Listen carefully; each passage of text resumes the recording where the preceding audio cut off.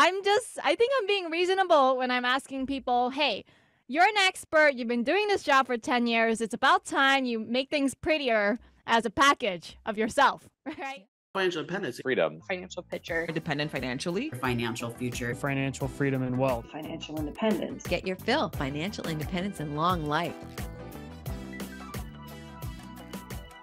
Hello, and welcome to another episode of Get Your Fill Financial Independence and Long Life, where we explore ways to achieve those two goals. And amazing, successful, creative, cool, fun people come on to help us. Like today, Annie Margarita Yang is with us, and she is the definitive voice in Millennium Finance, Millennial Finance, specializing in strategies for beating today's tough economic challenges. She's the author of an award winning, best selling new book called The Five Day Job Search, which sounds like a lot faster than what most people do, um, which helps young professionals get out of student loan debt while finding the ideal job, which is like, what the heck more could you want? With more than a million views on YouTube, her witty approach to tough talk sets her apart from the others. Annie's candid style cuts through the noise, delivering foolproof advice for real world challenges, far from generic tips. Her tips focus on practical steps to quickly improve finances, especially for challenges unique to millennials. Based in Boston with her husband, Annie complements her professional life with a love for piano, adding another layer to her multifaceted persona. Annie, thanks for being with us today. Christine, thanks for having me on. I'm so excited to talk to you because when I was reading up on all the information and the things that you talk about, this idea that we should be, you know, this idea of personal branding, like everybody understands branding their company, branding their, you know, their their whatever, but like to think about yourself as a brand, like you yourself as a brand. I don't think that's something that most people it's not really in their in their orbit. It's not something that most people think about. Why do you think about it? What got you thinking in that in that way? I got thinking about it because I knew what I wanted to do for my career, which is I wanted to help people with their finances in some way. Like I, I either want to like teach them how to manage their money or save it, but there's no such thing as a job doing this. Like what job title is there? Maybe people would think financial advisor, but a financial advisor actually is someone who sells you stocks or says, yeah. "Hey, let me manage your retirement portfolio for you and I'll just take 1% fee every year out of that for myself." Um, they're not actually teaching you anything. They just manage the money for you straight up. Yeah. But but they're actually helping people who already have the money. What exactly. about people who don't have the money? So I had to think long and hard because Dave Ramsey already does that. He somehow turned it into a career. And I was like, well, if he can do it, maybe there must be a way for me to do it, right? Like I, I want to be the voice for millennials. Dave Ramsey is much older and he speaks to older folks, right? Um, yeah. I want to be more relatable to people my age who say like Dave Ramsey can't relate to us. You know, us millennials, we have it harder. And so, so I was like, okay, how do I do this? Right? How do I brand myself so that people get help from me? They want it from me specifically. And yeah. one of the first things I did was at 22 years old, I wrote this book. It was called 1001 Ways to Save Money and that made no sales whatsoever when I published it in 2017. but um, when I moved to Boston, um, I needed a job. I was working at Domino's Pizza in Texas before that. But moved to Boston, I was like, you know, I want to get an accounting job. If if I, you know, can help people in some way with their money, maybe I can help small business owners with their accounting because I can do my own personal finances really well. And for a business, it's just a bigger scale, isn't it? Um, so I right under the education line on my resume, I wrote um, author of 1001 Ways to Save Money. So I don't have an accounting degree, but I wrote that, and that's what got me the calls. Excellent. yeah, I, it sounds like for you, you had this similar goal to to that I had for my book, which is to write the book. Right. The idea was I have this goal. I want to write this book. I should have had a goal to write a successful. Right. I should have had the goal to write a million dollar or million selling book, not just to write the book. But now, whatever number book the five day job search was, then you you figured out, oh, okay, I need to make a goal to actually sell this book, right? well, I didn't have the money for the first book to even sell it. You know, that yeah. requires more money for promotion. And at that time I was working on Domino's Pizza. So I did yeah. what I could. I I I made the cover myself. It was li- literally like a green book with I, I got a photo from shutterstock.com for like a hundred dollars. Then I got another photo and I put like that photo of like money getting flushed down, falling money, and I just placed it on top of the first photo of a toilet. and said, That's the cover of my book. It was really tacky. so I was on a really low budget for that one. This one, uh, the new one, the five day job search, I put a lot of money into this one because I have more money now, right? Yeah. So I was like, okay, I, I better do it right this time. I got to do it the way a big publishing house would do it if they want their authors to succeed. So I've poured about 20K into this one. Yeah. But that's, you know, it's, it, it's a silly adage, but it is unfortunately very true. You have to spend money to make money. I mean, you don't have to spend money to make money, but it's a lot easier, I think, to make money when you already have some. I have found that to be more true as I've yeah. more money. Yeah. That's right. So how how does it help a regular person who doesn't want to become like a coach or somebody who's going to be self-employed or even someone who does want to be self-employed? How does it help them to be branded? Yeah, you have to think. Look, even if you work um, a full-time W two job, the way I always saw this, like I always saw this from the beginning, even if I'm working a full time W 2 job, I think of the employer as a client. Like they're no different from any client where if you're like a freelancer or self employed, just the difference is that this employer of yours is paying you for 40 hours of your time versus a freelance client might pay you for just five hours of your time. And you'll have like maybe 10 of those five hour clients instead of one 40 hour client, if that makes right. sense. So yeah. there's no difference in my head. Uh, so that's why you keep saying regular person, but I'm just like, but in the end, you know, you are the CEO of your own company. You are your company, right? You are the CEO. And in terms of your personal finances, you're the CFO of your own personal finances as well. Like if you think of it like that, then I think that will really set you up for success. Well, absolutely. And that's why I wanted to bring it up because I don't think that most people think of themselves that way right? I work for this i'm working for the men i'm just like they just i just do what they say but you're right especially when you're looking for a job rather than i mean I, I this is bringing me back to some of the stuff in think and grow rich where he has you create this beautiful resume and before the internet right? Before then that's all you had. You're giving this person something that's showing them that you are a step above everybody else that you're cut above the, the rest of the crowd that of the 200 people who are applying for a job with this company you've got something special because you're already seen as an industry leader or or you're already right you're already a thought leader or something in that particular industry so they would be lucky to have you as opposed to you know here I am here's my resume and I'm really great and you know whatever. Yeah yeah that's right. Well I feel like it's the difference between having to sell yourself right? Like if if I like I'm a real estate broker that's one of my hats. So if someone comes to me as a referral, they already trust me. They already know me. They already feel like good. They already feel good about working with me, as opposed to say if I got my a lead from you know realtor.com, which sometimes happens. This is a complete stranger off the street. They have no idea who I am. So I'm like, you know, what am I going to say to them? I'm really good. I'm really honest. I'm a great negotiator, right? Like, so I'm in this part where I have to sell myself. Like, I'm so awesome. You're going to love me, you know.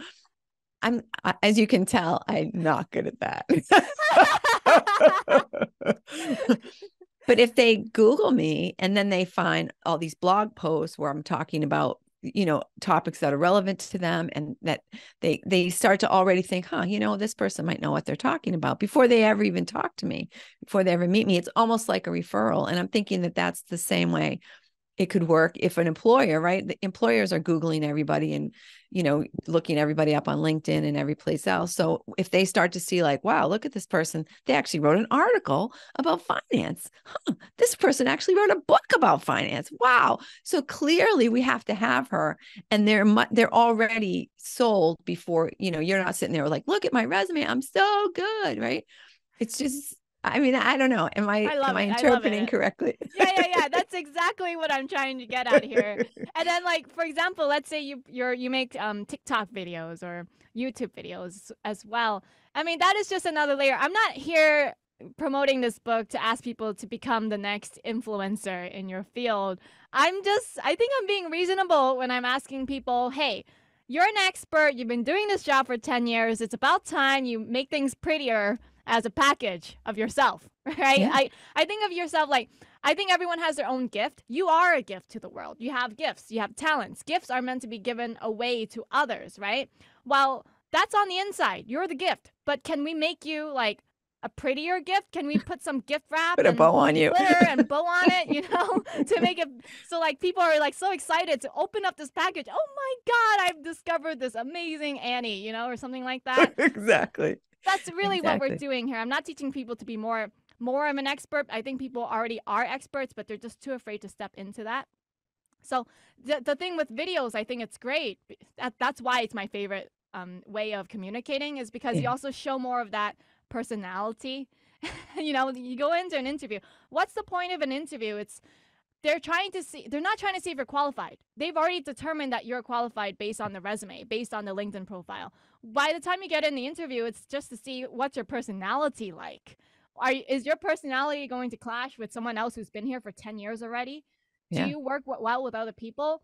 But if they saw videos of you online, they already have a good good um guess at what your personality is like if if you're the same on camera as you are off camera. Yeah exactly. And you the other side of that is if they look for you and on TikTok all they're finding is like hey my boyfriend sucks. But right I mean you you have a package out there already. Is it a good package? Is it a package we want to hire or not oh my right? gosh. Last month I was last month I came across this YouTube short of this this Gen Zer, maybe you saw it because it went totally viral. It's got millions of views. This Gen Zer um, was driving in her car and she's like, I just graduated from college last year. I have $80,000 in student loan debt. I got a degree in marketing, guys, but I can't even get um, a, a, marketing job. I thought I'd come out of college making $100,000 in marketing. And here they're paying me only 40K for entry level. And you know what, guys? I make more money as a sushi restaurant waiter, waitress. And then I'm just like, oh my God, no one's ever going to hire after this. Right. Exactly. She's complaining like, she I'm... can't get hired, but I swear after she made that video, no employer is going to want to hire her. Exactly and that's that's what we aren't thinking about right? When we're out there just like spewing our opinions all over the place you know? It just the the off the ups or the the reverse side of personal branding right? This is my personal brand. I'm sitting there in too tight clothes you know talking about how dissing somebody that you know cut me off in the traffic and like mm-hmm. they're gonna look at it and say yeah okay. Yeah sure. Add her to the roster right? Yeah well, I don't know. I mean, if if if all that happens is that less people are making like trashy videos, then I think uh, it's your your campaign has been, you know, successful in my opinion. even if nobody gets a job, even if we just have less, you know, rant videos. but so how, okay, so enough of that. How do you suggest that people get started? If they right. if if yeah. like up till now all they had was those videos of them, you know, complaining about something that's going on in the news. All right. Well, because we went this way, actually, normally I start recommending getting a new headshot, but because of the direction we went, I think if you have those trashy videos, the first thing is you need to do an audit of everything you posted online. Uh, so when I was building my brand, what I actually did was I um, searched on Google and Bing for the username handle that I kept using. It's Annie Love Pie. So I had to search. This is something I made up when I was like 14 years old. Annie Love Pie. um, to, to see like what what accounts did I open across the internet? Like, did I have any forums? Did I answer something on Yahoo Answers that I really should take down today? you know, um, so so do that. You know, search your full name um, search your username handles and then like delete accounts that you no longer want on the internet. It'll take a few months for them to actually come off those search results. Um, you know, go through your social media profiles as well, and then just not even make private, but just straight up delete the posts that just no longer reflect you because we're creating new for you here, right? And then only after you do this, then we can work on actually creating.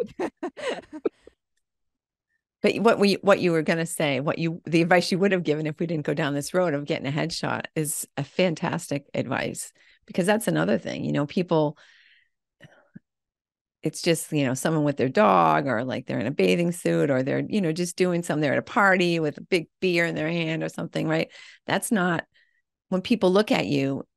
Even I look at the, the kind of things when when people are on Zoom and they shut their camera off. Like what what what comes up? Is it just, you know, and, and because that could happen, right? When I shut my camera off, you get to see me Ah. selling my book, right? yeah. And then mine is my headshot. yeah, beautiful. See, Yeah. it looks fantastic. So, but a lot of people, there's nothing, right? When they shut it off, there's just like a picture of a, you know, dark camera thing or, and It matters. It's It that, matters, it's a right? Small detail. When you take pay attention to those small details, that extra subtle polish. People don't. They cannot pinpoint what is it about you that's so amazing. But I, I'm an accountant, so I pay attention those to those tiny little details, and I make sure it has that extra polish. Um, it all comes together for that extra oomph, that lasting, memorable, great first impression. And they, they don't know what it is you're doing, but they just know they like it. Yeah, exactly. They trust you. It's a trust factor when you seem professional, and especially with you with money, right? If people are going to take money advice from you, if you just kind of showed up as some kind of a, I don't even know what, you know, that then why would be like, yeah, okay, you know, she looks a little crazy. I mean, maybe they would, you know, Mhm. there are some people who are a little bit out there who people listen to for money, but I think it's that you're you're have to overcome yourself, right? Because when we were talking about the Zoom yeah, thing, That, that, that perception it matters. I swear, because yeah, I was in an my second job search in an interview. I asked them why are you hiring for this job? What happened to the old person? Like because I'm trying to like snuff out is this a toxic company? Like Yeah. you know if they fired for some reason that I I'm like yeah I don't want to work here right. yeah. And then they told me, look, to be honest, she took like three hour lunch breaks. She would leave for lunch. She'd come back three hours later and we'd be like, where were you? And then she'd go like, but I have an illness, therefore I can take three hour lunch breaks. Um, and then her, they were complaining that her desk was always a mess and like papers everywhere, you know, couldn't find anything. And they were scared to just put something on her desk because maybe it would get lost on her desk. like that's how bad it was. Yeah. Um, and so that was their perception of her. And I was like, oh, well, they thought like because she's disorganized in general, she must not be good at her job in accounting because that's Right. something that's important for accounting, right? Exactly. Well, and you bring up a great point as well because you're not always looking for a job, but where you are, you might want to get promoted. You might want to keep your job and having that beautiful public persona, your pub, your your personal branding out there is when they're looking to, you know, okay, this person's going to leave. We'd like to re- um, promote from within. How are we going to do that? Wow, look at this. You know, I keep getting these great newsletters from so and so in accounting or Annie in accounting is just she's killing it. You know, did you see that you that uh, LinkedIn article she did the other day? Man, we got to promote her, right? I mean, Even if not from within the company, even people outside of the company, they Yeah. see you, they want to jump on you. I swear. Like Yeah. I I get I still get messages today from recruiters. We're in a down economic downturn right now. I still get messages from recruiters, potential employers. They're like, "We want to hire you," and then I'm just like, "Yeah, I'm not interested." But all like set. the opportunities still come regardless. Right. and then you can be fussy, right? If, if only one person ever asks you out on a date, you're gonna end up marrying that person. But if you like, if you if you like get uh, have a good a good uh, whatever, But that's the point. That that's the whole point of the five day job search. So in the book, I tell people if you want to have a successful job search, there's also a second reason why you have to apply to 50 jobs a day. So I found out. Um, so the statistic is that the average job search takes six months, and I was like, what?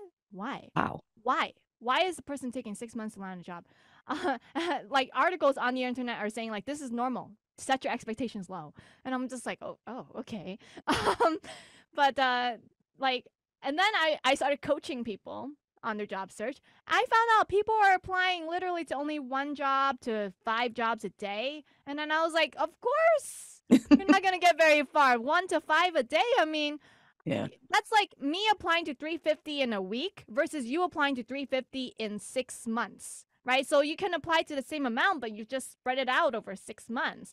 And Yeah. the benefit of shortening that 350 to just a week instead of six months is I I would get multiple phone calls, emails asking me for an interview. I would do those interviews, and then I can line up multiple job offers in a, such a short period of time. And I have like whatever is in my hand, I'm like, okay, which one's giving me the best offer? Which one's giving me what I want? And then I get to pick and choose. You know, my friend, she read my book, and um, she followed the advice. She had a 10 day job search. So on the 10th day, she lined up five interviews, all to, to be done on the same day. And she got multiple offers. She got to pick and choose. I mean, that's the best thing, right? When you, that's what you're saying about like getting only one date versus five dates. You know, yeah, you pick yeah, the best absolutely. one. Yeah, exactly, exactly. Who's got the who's bringing the most to the table, and then you can also go back and say, you know, I really like your corporate atmosphere, but I, I got this other offer and they're paying 50 grand more. What do you think? You know, and you, you're in a much better position to set your own, as opposed to being, you know, set your own rules and set your own yeah, criteria for the job, as opposed to if you've just got one offer in the last six months. like, oh God, I got to take this job. Yes, of course I'll work weekends and holidays and, you know, whatever, and take a 20K pay cut and not a problem. It's okay, right? Because you're desperate, you're starving to death. Yeah. So let's say you're an entrepreneur. Well, okay, so this is if you already have a job and you already have a field, but I think for entrepreneurs, it might be difficult for them to identify um, what they should be focusing on in their personal branding exercise. is So let me think of a of a career that's I mean, it's easy if you're in something like well, I mean, every no matter what you do, right? You could write an article about it. You could help people to understand it. I actually uh, was reading a thing about a pool company and that they have opportunities from all over the country because they have these amazing blog posts about all the things that could possibly go wrong with your pool, which like i would think that's very limited you know that's three blogs right? But but apparently not. And so they they've got all these different blog posts with all this stuff and they're considered the experts in the pool industry. And I, you can do that anywhere right? But how does a person get started with understanding what content is germane and what they should really be focusing on and you know how to connect with people how to get people to to because when you're an entrepreneur it's not people aren't necessarily going to google your name right? They're, they're, googling your your industry. So how can you help to find get, get some of those people to find you? Yeah um, the first thing i think is to do your research. Like for example i'm branding myself as a best-selling award-winning author right? That's me rebranding myself. I was a i'm a full-time accountant so i'm doing the switch on my career right? Yeah. it's a, almost like a transition i'm in the midst of uh, so what I had to do was I had to look up all the names of the big people in this industry, like let's say uh, Robin Sharma, Marie Forleo, you know, Adam Grant. Uh, I found them on on Amazon bestsellers list, right? And then what I would do is I, I took this list, sorted it from A to Z, and then I would just literally spend an hour a day researching each one to to look at all of their social media profiles. What kind of content are they posting, right? And then I would write down that and then like let's say you've researched 10 of them, then by the time you're done with your research, you have a compilation of like from 10 different ones, all of the different kinds of content you can create in your own style, right? I'm pretty sure everything out there has been done before. I mean, like, come on. Yeah. Everything out there is already there. But the question is, it has to be done in your style. You are unique, right? So you do it in your own style. So like let's say I'm there's already like existing career coaches on TikTok, right? I'm getting on TikTok in 2024, so that's why this is on my mind right now. I'm like, well, how, how do I come up with the right content to make for TikTok?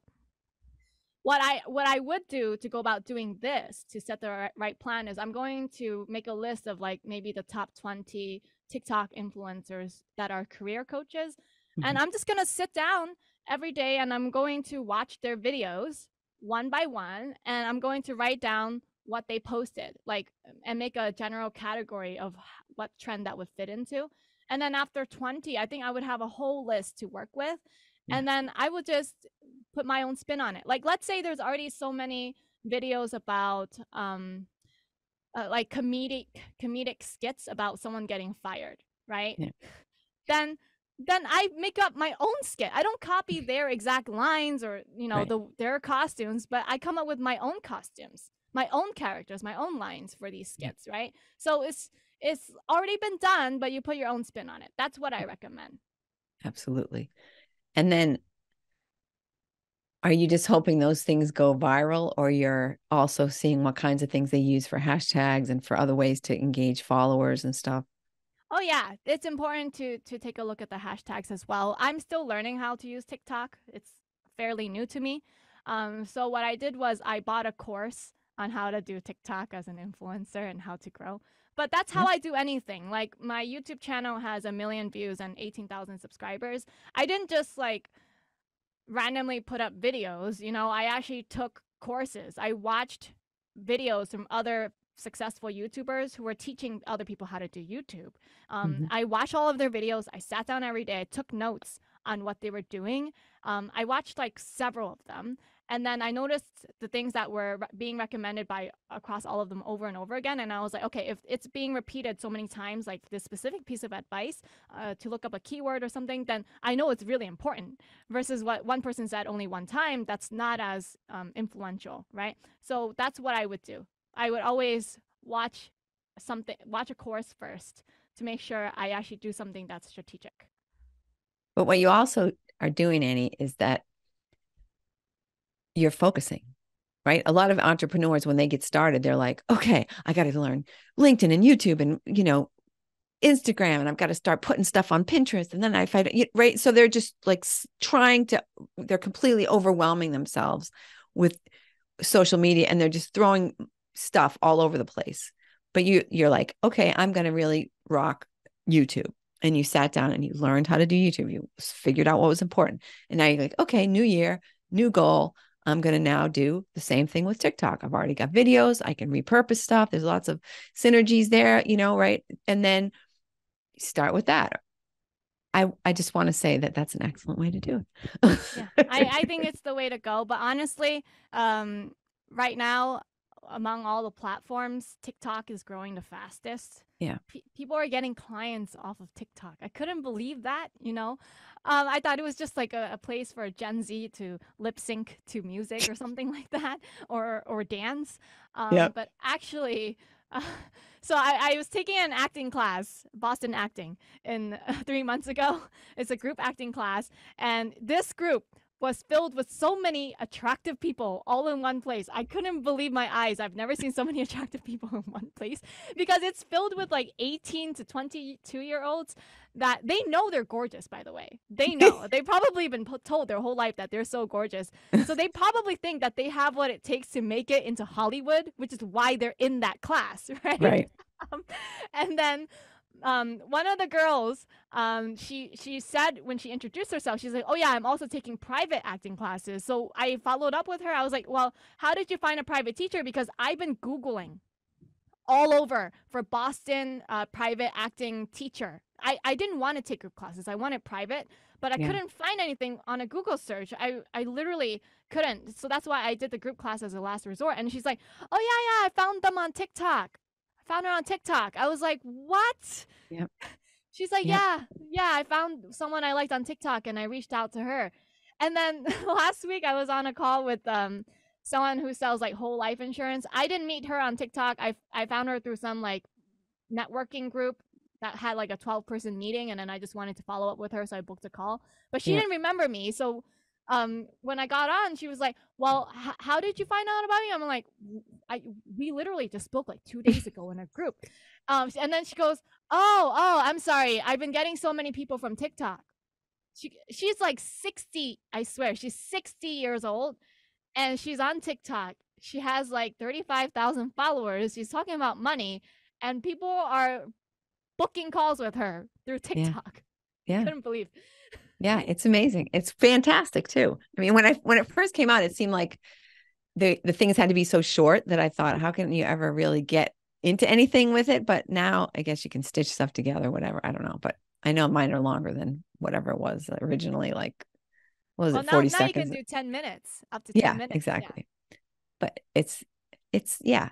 That what's the next big thing, right? What's the next big thing? Where should I be now? It's absolutely. Yeah, and I strike it while it's hot. Exactly, before some other thing comes along. but TikTok is fun. I think it'll be around for a little while. Cuz it the way they push new stuff to you, right? Like you're just sitting there, I, you get addicted. You're just like, oh, here and here's something else that I like. Here's something else that I like. Um, I actually hardly am ever on social media, but I, I understand that's how it works. Yeah. So, okay, so back to focus. So we're entrepreneurs and we're like, okay, how am I going to market myself? What am I what do I want to say? so we're now we're going out to people who are similar, like who we consider to be our competitors. Is that would be a suggestion? Yeah. That's yeah. what I recommend you do. That's the the way to create your game plan. Don't mm. copy, but do better. Yeah, exactly. Exactly. And then what? I mean, okay, so now we have our hopefully our social media is kind of in pretty good shape and we're starting to are we just going to like people are going to just going to drop in from there or do we still do people still need a website do you think I think people still need a website. There has there still has to be a way to funnel people in to contact you. You cannot keep them on the, these platforms because I grew on YouTube, but now with YouTube's new algorithm, even if you're just borderline controversial in what you're saying, they will shadow ban you. Like this is literally in YouTube's guidelines. Like that was their goal, I think last year. They explicitly stated like we we want to aim for just 0.5% video views of the whole website for borderline controversial stuff. That's why you go on your homepage these days and you see things like I blew up a mountain or like I tried out this weird prank. It's like these boring old, you know, gags over and over again that are family friendly rather yeah. than um, from people you want to actually hear different views from, right? Uh, so I I still recommend you still need a website. Get people somehow on your mailing list. Offer something for free to encourage them to get on your on your list, basically. Yeah. Yeah. And then what are you sending them once they're on their mailing list? What kind of stuff are you are you giving them? You could probably like here's an example of something I thought was great. Um, so I was shopping around for a payment processing solution, something a, a way, a cheap way for a business to business company to collect money from their clients because still so old school. They collect checks, you know, mail checks instead of like letting people pay online because the fees are really high. Like let's say the bill is a thousand because it's business to business. Yeah, you, you, would expect to pay like 30 dollars in fees. That's average. Yeah. Um, yeah so I found this company that was charging only 50 cents a transaction, regardless of the amount. Like let's say the bill was 10,000, you still only pay 50 cents for the transaction. Wow. Um, so I found them and one of the things I thought they did really great was on their homepage, they offered a free ebook that said top 10 questions you should ask a payment processor before you decide to sign a contract with them. And I read the whole book and it really educated me on how this industry worked and I actually ended up going with them when I was shopping because it really opened my eyes. They educated me. And then I was like, well, they must really know what they're doing. Right. And they are freely giving away this information as well. They yeah. have good service, basically. What company was that, if you don't mind my asking? Yeah, yeah. It's called um, Express Pay. I, I can give you a link to it afterward. I actually Thanks. set because I work in real estate. That's why I set it up, and I think it would be beneficial for for your brokerage. Thank you.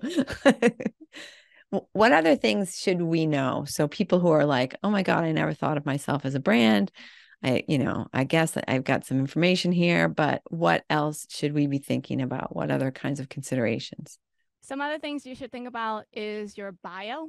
I think a lot of people don't give too much thought into getting a professional bio written, but that is so important because people want to read about you before they reach out. And the bio is more for like, it's like, even if you're fresh out of college, I think everyone can do this. The reason why I say this is because the bio is for what you want, it's for the direction of the career you're going for right? Um, what do you want to do 10 years from now? What are your dreams for 20 years from now? You want people to be able to reach out and collaborate with you, partner with you. Or um, if there is a company that has their eyes on you and they see, oh my gosh, what she wants to do is right in line with us, and they know you're a rock star at what you do, then they're going to come in at an angle that's going to be trying to convince you to be with them, right? Right. So that's why it's so important about what you want, but also to back it up with your past achievements if you have any. And I'm sure everyone has them. It's more about wording it. Um, I had to pay a copywriter $300 before ChatGPT came out to write those stuff for me. Um, but now that we have ChatGPT, you can upgrade to ChatGPT 4 for the $20 a month subscription and have it write it for you instead. Does it do a good enough job? Yeah, yeah, yeah. It's it's pretty much it pretty much comes out the way I want it to. Um, it needs some tweaking, some polishing, but that's with anything, right? Yeah. And if it has if it's written in a tone or a style that you're like, eh, it's still off, it doesn't have like a tone or style that I like, what you can do is just like going back to your competitors, right? So go back to your competitors or um, individuals in your space that uh, are at the top of their field, look at their bios and then find the ones that you like that have that tone and style. Copy and paste that bio into ChatGPT and say, analyze the tone and style of this bio. Write my bio in the same tone and style. It will copy that style. Yeah. Yeah. It's it's pretty cool. It says, I don't know. I like to do those for my blogs just to start with that. And then I, you know, add my own like personal knowledge or whatever. But um, but then do you have to give, do you have to, uh, what is your feeling about giving, um, what's the word? When you give credit to chat gpt and say oh here's my great bio written by chat gpt i don't know. I don't i don't know what the standard should be. It's so new. I haven't given credit right? Because anyway what i've really been using it for is to help people write their resumes. Yeah. Write their resumes and their linkedin profile so I, i'm really using it for other people um, I'm also using it to do pitches. So, like, even pitching you for this to get on the show, that message was written by ChatGPT. So, it's not like I created a product that I can sell that yeah. was written by ChatGPT. So, I'm not so sure about that just yet. Yeah, when I do my blog post with, you know, when I I'll take an article that's interesting and then I'll run it through a couple different like Bard and Chat GPT and you know go back and forth with that till I get it to where I want and then I'll add my own stuff. But I always say, you know, Bard and I wrote this article together or mm. Chat GPT and I wrote this article together because it's just I don't know. It feels like I should give credit to my co-author. Perhaps not necessary. I don't know. Uh, the ethics surrounding it are still being fleshed out. Yeah, well, that's why I that's why that came up is because I had you know listened to some like different speakers and stuff like that talking about ChatGPT and giving some kind of citation.